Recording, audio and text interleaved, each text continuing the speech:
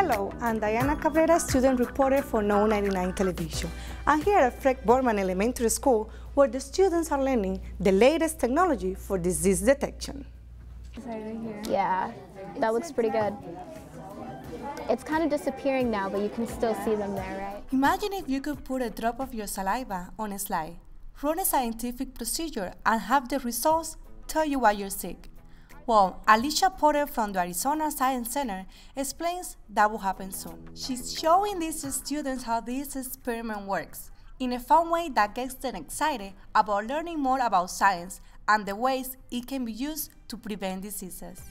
Finding diseases in a really quick way is very important for us to be able to do in this day and age, and that's what the kids were trying out with the sensor arrays. The sensor array is the heart of the experiment.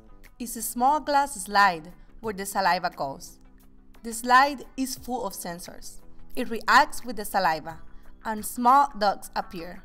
The patterns these dots make indicate a disease. It lights up all of the places where the antibodies have stuck to the sensor array.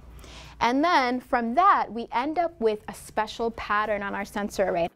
It's really important that students are introduced to this world of science so that they can contribute to it in the future. Quiero ser científica porque puedes hacer muchos proyectos y pues ayudas a los niños que aprendan más. This exercise shows students that science can be applied to everyday life. When they leave these classrooms today, they can think about whether they want to make a career out of it or just learn this new process of finding diseases. Reporting for know99 Television, I'm Diana Cabrera.